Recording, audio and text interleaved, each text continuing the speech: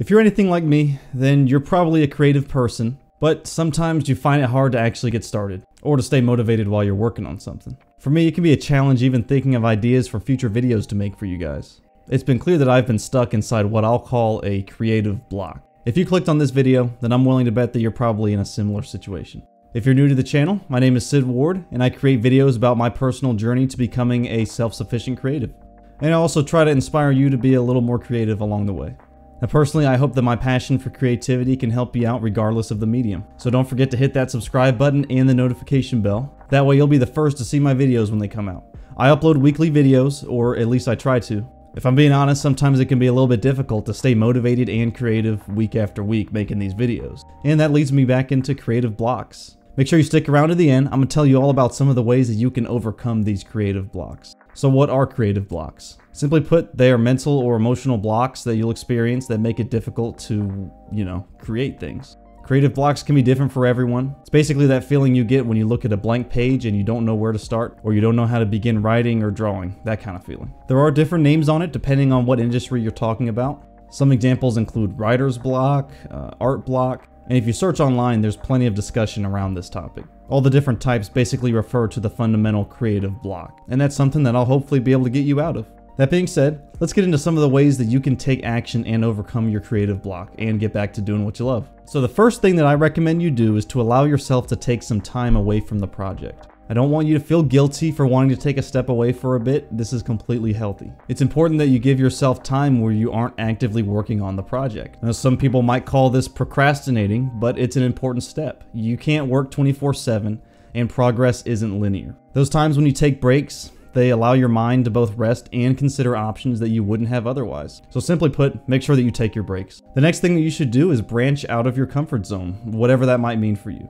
Personally, I recommend traveling as much as you can, and I don't mean you have to drop everything and, you know, go across the world, but it's important that you make time for venturing outside of your typical environment. Maybe even drive to a different city just to go to a park or coffee shop that you've never been to. That's something that I did recently, and it made the world of difference. You should also try to talk to as many new people as possible. I know that this can be challenging for some, but it's important for learning new perspectives. When you experience new things or just different things, you're basically adding information to your personal library. This means that while you're creating, you can refer back to this knowledge. The more that you experience, the better equipped you are to handle new and unique challenges. See, now who'd have thought that just traveling a little could help you with creativity? If you like that tip, then don't forget to subscribe and like the video while you're at it. But that's not all. I do have a few more tips for you guys. And the next one is introspection. So, what do I mean by that? What I mean is to take an honest look at your emotional state and understand what it is that you hope to gain by creating. It could be for success, either monetarily or personally, or it could be that there's a story that you really want other people to hear. Whatever your motive is, write it down in a journal or however you take notes.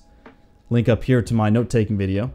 And remember why you're doing it. Then think about the tasks that you need to complete in order to be happy with the project. And I recommend that you keep it simple, preferably short bullet points for what you're going to have to do. Now here's the catch. Limit yourself to only 7 items per day. Studies have shown that that's the magic number for tasks to complete within a day. Any more than that, then you're probably overloading yourself. And this could put you back into a creative block. My next tip is to join or make communities where you and others can create often. You can find communities of creatives on YouTube, Instagram, and Twitch. I recommend that if you don't already have one, make a Discord account. Many people make communities using Discord to communicate and share their ideas. I'm in a couple of Discords myself that focus on specific art or illustration challenges. And honestly, it's really great seeing everyone else's progress. It's a space where you can ask questions and ask for honest feedback too. I'm personally still fine tuning my Discord server where myself and you all can create. It'll also be a space where you can share your progress. So stay tuned for that. You can also follow me on Instagram. That's where I post updates about my journey, but I'll also be sure to let you know when that Discord server is open to the public. Don't be afraid to share what you're working on with other people. Oftentimes, they can give you feedback on how to improve, and they can offer unique perspectives of your work. This tip is a little more general, but don't worry about everything you make being great. It's difficult, but you have to abandon the perfectionist mindset. It's better for you to have created something and learned from the result than to have never created it at all because of the fear that it's not good enough. It's important that you make your end goal attainable and that you stick with it. If your result isn't perfect, that's okay. Always try your best, but understand that it's a step in your journey to creating even better work. It's important to remember that breaking through your creative block is an active process. It's something where you need to make specific changes in your life that'll spark your creativity. Now, I hope that this video was helpful for you, and if so, I'd appreciate it if you could subscribe to the channel. That way you can keep up with my weekly videos on different ways to stay creative. And let me know in the comments below, what are some of the things that you think could help break through creative blocks? Thanks for watching, get out there and start creating.